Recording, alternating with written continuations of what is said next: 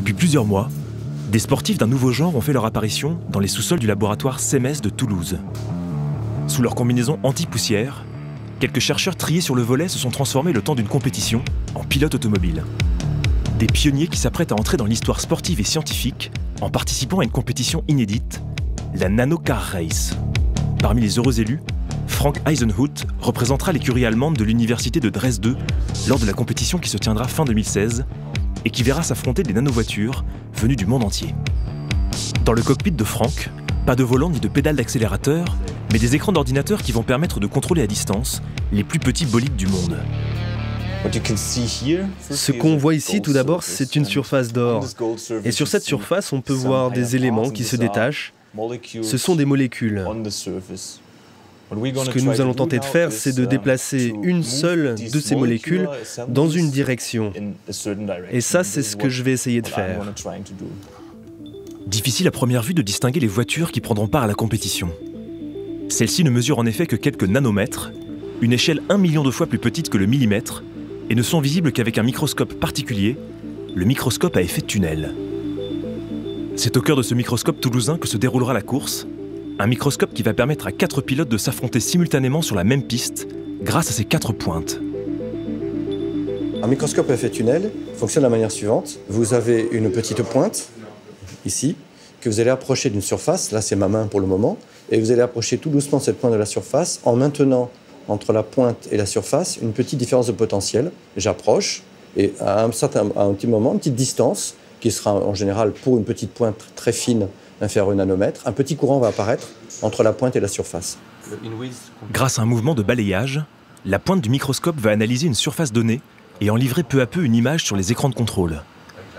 Mais au-delà de sa capacité d'analyse, cette même pointe et les électrons qu'elle transfère à la surface va permettre de stimuler les nanovoitures et de les faire avancer sur la piste.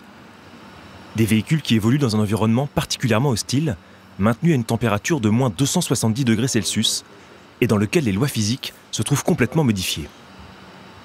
Pour cette course à l'échelle de l'infiniment petit, l'asphalte des circuits de Formule 1 a été remplacé par une surface plus noble, l'or. Un circuit précieusement conservé dans l'atelier du laboratoire, transformé en garage automobile. Alors ceci, c'est la petite pastille d'or qui va servir à la course.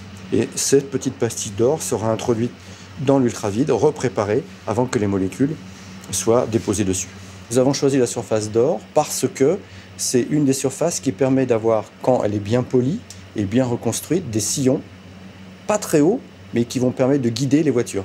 Là, vous avez des espèces de routes, de pistes qui sont naturellement construites quand vous repréparez la surface. Évaporées sur la surface, les molécules de chaque équipe vont se répartir de manière aléatoire sur les différents sillons de la piste d'or. Le pilote est alors libre de choisir celle qu'il souhaite déplacer en la ciblant grâce à la pointe du microscope. Il peut ainsi espérer la faire bondir à une vitesse de 5 nanomètres par heure pour parcourir la plus longue distance durant les 38 heures que durera la compétition. Un pilotage qui met à rude épreuve la résistance de ces fragiles engins. Nous sommes très excités par ce projet, d'avoir la chance de participer à cette compétition, de travailler avec une telle machine, c'est assez unique.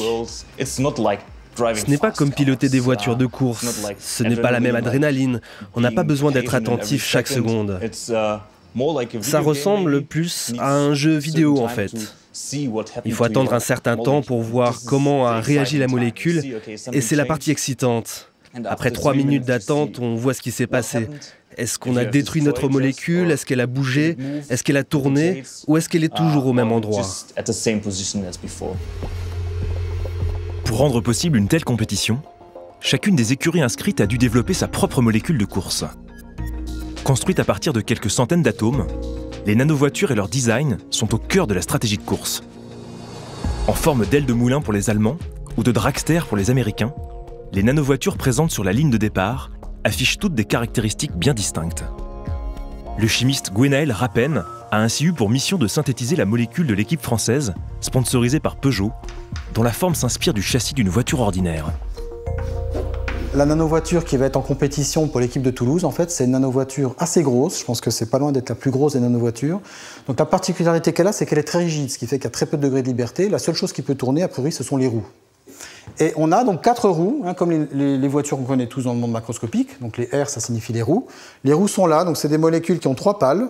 Et donc avec la, rugosité de la surface, on peut imaginer facilement que ces roues vont se mettre à tourner. Et donc la molécule va se déplacer sur la surface sous l'effet de l'excitation des électrons du microscope à effet tunnel. Chacun aura le contrôle du flux d'électrons qu'il peut donner à sa molécule et de la position de la pointe sur la surface. Et voilà, donc on est quand même euh, assez à égalité, puisqu'on va être tous sur la même surface, on va être tous là au même moment, à la même température, avec le même outil, c'est-à-dire le même fuel des électrons. Donc après, ce sera les caractéristiques intrinsèques du nanovéhicule qui feront bah, s'il gagne ou s'il ne gagne pas. Pour décrocher la victoire, les écuries et leurs pilotes vont se relayer à Toulouse durant les prochains mois pour des sessions d'entraînement en conditions réelles. Une compétition qui va permettre d'approfondir les connaissances en matière de microscopie à effet tunnel et l'occasion de donner à la science des allures de compétition internationale. Fin du suspense sur la ligne d'arrivée de ce que les chercheurs ont déjà surnommé les 38 heures de Toulouse.